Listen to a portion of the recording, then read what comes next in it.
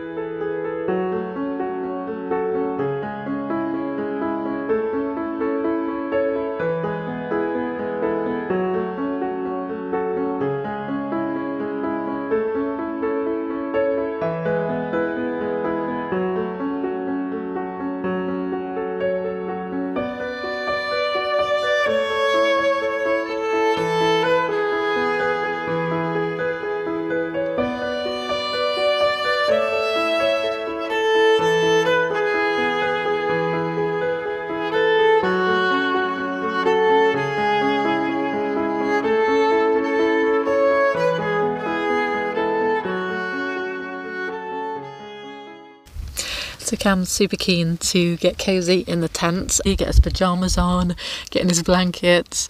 Um, he'll probably steal my pillow as well. But before I bring him in and shut up the door, I thought I would give you uh, a little tour of where we are tonight. So this is my pitch for tonight. So this is what it looks like out of the front of the tent, looking over at Pike of Blisco, the Langdales, and then down at Red Tarn. And some beautiful clouds, mist coming through at the moment. Really atmospheric. So this spot here was where I was going to pitch. It's really nice and flat. However, it's a little bit more elevated than where I am. I'll swing around in a minute and show you. And there is another wild camper. So if I'd pitched here, I would have been in a very prominent position.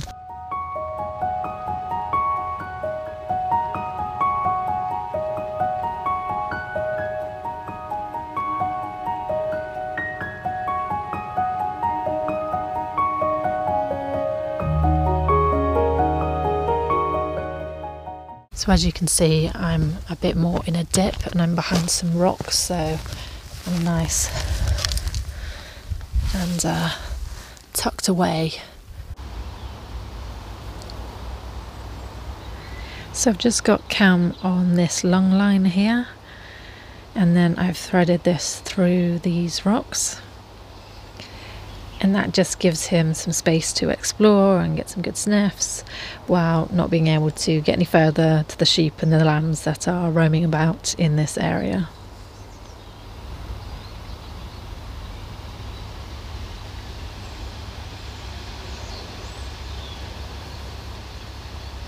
Let's just go for just a little wander about uh, so you can see what the views look like.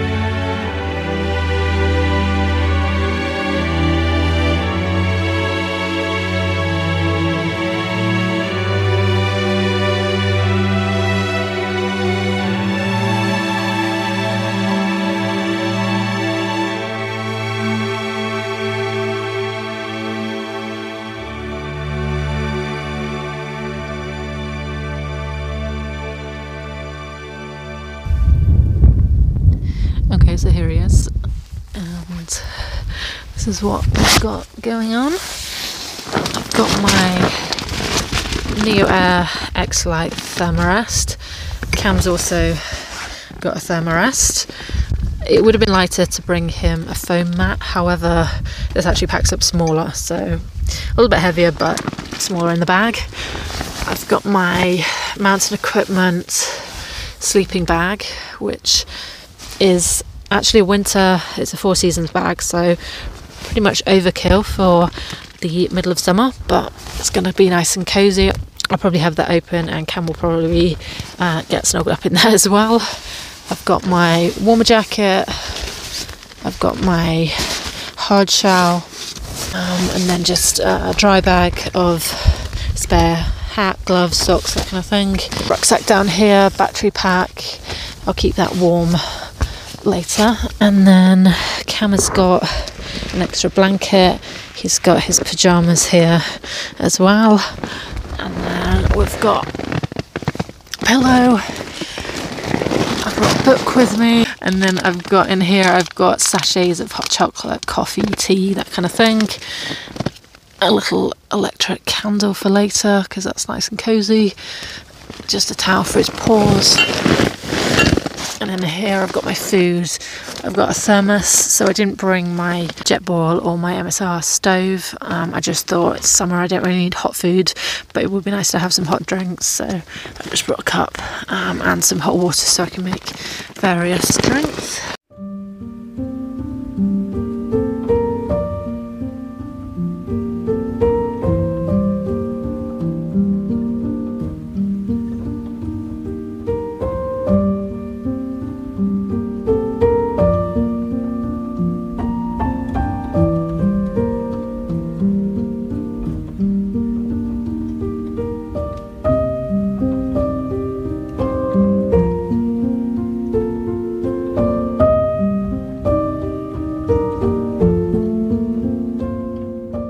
Thermos flasks really are amazing.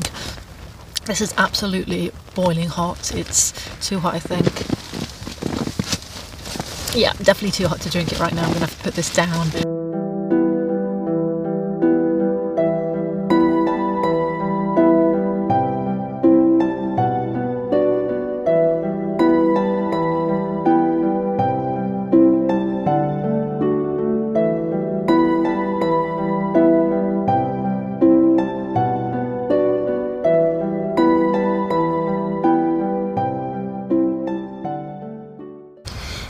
The reason for today's wild camp is a bit of a special one.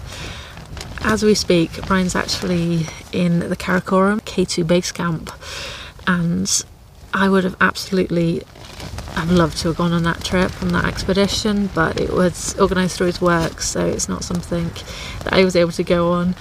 I would have been in a heartbeat um, if I'd got any chance. I'm really happy for him that he got that opportunity. It's just amazing to think that thousands of miles away, he's also camping on K2. If you haven't seen mountains of that scale, it's just, you just can't wrap your head around it. When I saw the Himalayas for the first time, it was actually quite an emotional experience just because of just the magnitude of them. So I'm a little bit gutted that I don't get to see his face when he sees, you know, K2 Broad Peak, Gasherbrum 1 and 2, um, Marble Peak, you know, all of those actually see them for the first time because you just can't explain it, and even photos and videos and that just don't do it justice um, until you actually stood there looking up at them. It's a little bit hard to film in here with spaniel who's looking at me now, leaping around on his inflatable mattress. This is Life with a Spaniel. So this is my battery powered candle, bit of a luxury item, but when it gets dark it just adds a little bit of coziness. So pop that up there.